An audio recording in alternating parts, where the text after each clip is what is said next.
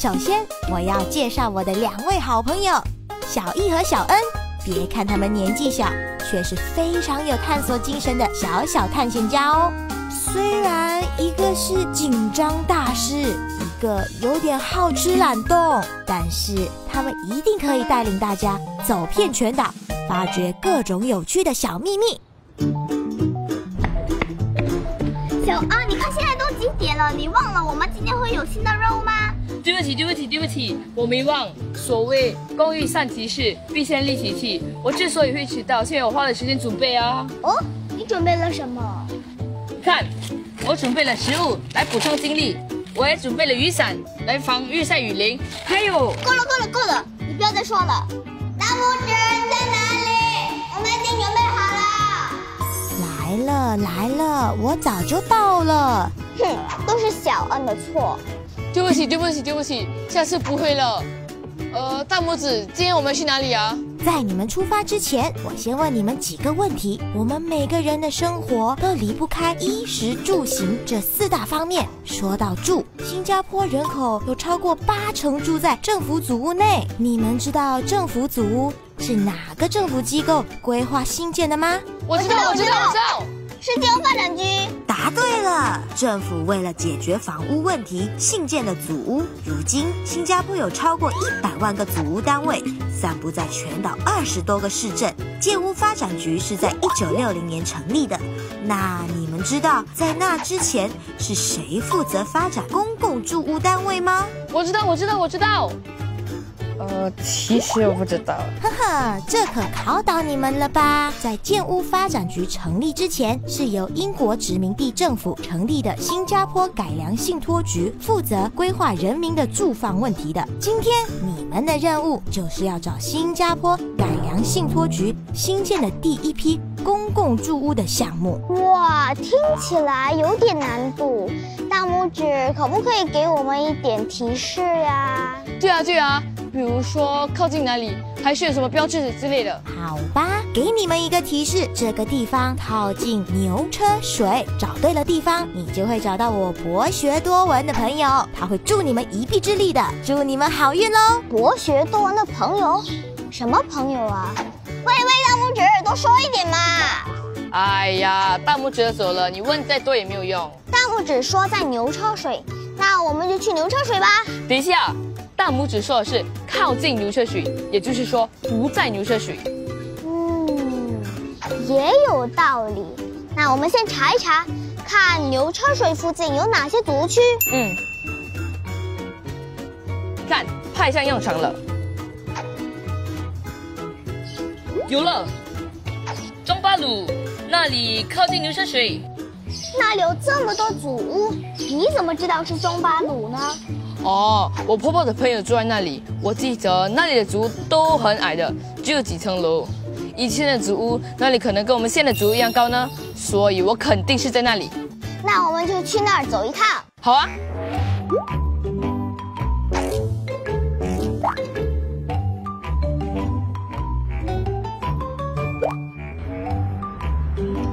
小恩，大拇指说，如果我们找对地方。他的朋友就会在这里等我们，让我们认识这个地方。你确定我们找对地方了吗？我觉得应该没有错吧，可能他还没有看到我们。那边有人，我们去问问吧。OK。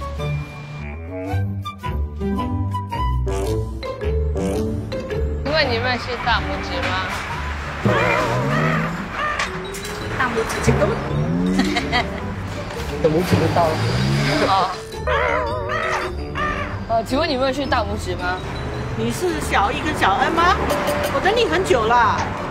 你是大拇指的朋友吗？是啊，我是婷婷，是研究新加坡历史的，曾经帮新加坡文物局研究中巴鲁的历史。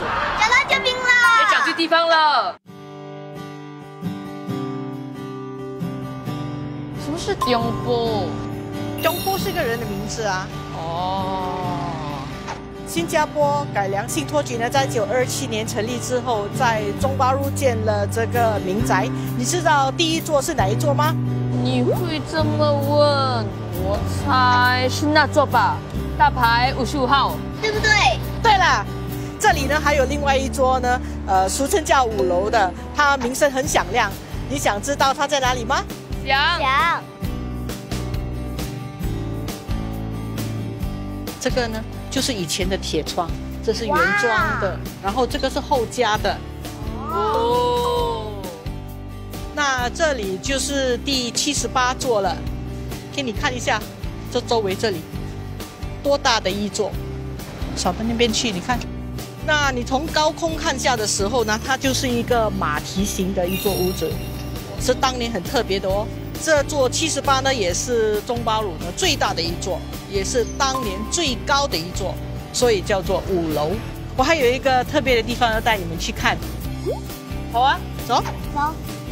我们现在呢，就是站在这个防空壕的外面了。为什么他们建一个防空壕？这就是因为当年呢，呃，日军打新加坡的时候呢，就有飞机下炸弹嘛。那这些居民呢，就要往一个地方去躲。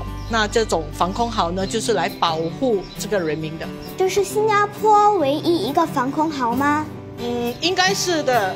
因为我们没有找到其他的记载，这个是当年唯一政府建给那个居民用的。那其他的防空壕呢，就是那些人呢自己建的。刚才一路走过来，我发现祖屋外观的设计非常特别。其实中巴鲁呢，呃，是一个很特殊的地方。你一时都可以看到这个战前跟战后的建筑。战前的建筑呢是比较特别的，所以呢这些建筑呢是有一定的年龄了，是已经被列为这个国家古迹，已经是受保留的主屋区。那有什么特别的设计？有很多，我带你去看啊。嗯，好啊，好啊，走啊。哎，你看里面的楼梯，你看它弯上去了哦。第二世界大战的时候呢，要是那个炸弹下到这里来。要躲那个炸弹就可以往这边跑，因为它转那个弯那边就安全了。那炸弹炸到的东西就不会飞到里面去。那如果有炸弹，这个旋转楼梯也可以挡吗？应该是可以的。哇，这就是旋转楼梯啊！呀，这就是以前的旋转楼梯，从到顶楼到那个第一楼，好高啊！这里呢就直通到那个后院。对，以前的后院呢，他们也是呃在后院躲这个炸弹。那这个中巴鲁的建筑方式呢，就是采取这个英国的小镇的格式，有这个弧形的楼梯啦、露台啦、圆形的柱子来增加这个立体感。那你猜猜这一座呢，它的外形像什么呢？我觉得它好像。一艘船，我觉得好像是一个人身体的样子。其实呢，这一座呢就是很有名的飞机楼。你看它外形像不像坐飞机？哦，像，其实像哎。那边是飞机头、飞机翅膀，还有飞机的隐形。对了，你看到外面的这个红砖吗？嗯嗯。现在的政府主物已经不用它来做这个外面的装饰了。那我已经带你们走了一圈了，你们最深刻印象是什么呢？我印象最深刻的是，组里面有旋转楼梯的设计，而我是第七十八座的防空壕。还有还有，我最喜欢那个飞机楼。其实我知道这里的熟食中心有很多好吃的东西。那我看你们累了吧，我带你们去吃点东西吧。好啊好啊好啊。小恩，婷婷特地带你们认识中巴鲁，你却只记得吃吃吃。幸好你们还是完成了任务，大拇指我也长了知识。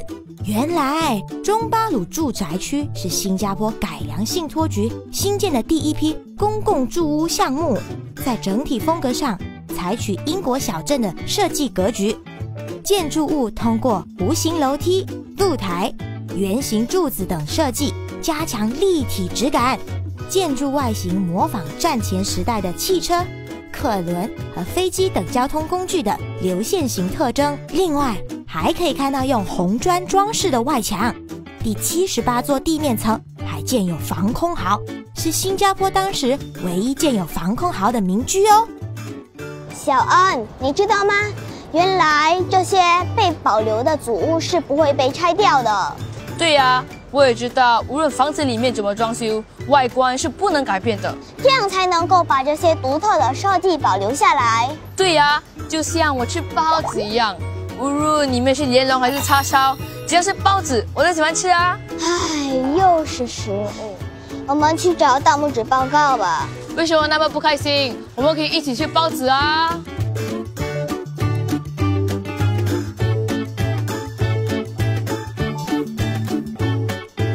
学多闻的朋友，博学多闻的朋友，博学多闻的朋友，多来，不用紧。博学博学多闻是，OK，来，Step by three。为什么这么不开心？我们可以一起一起。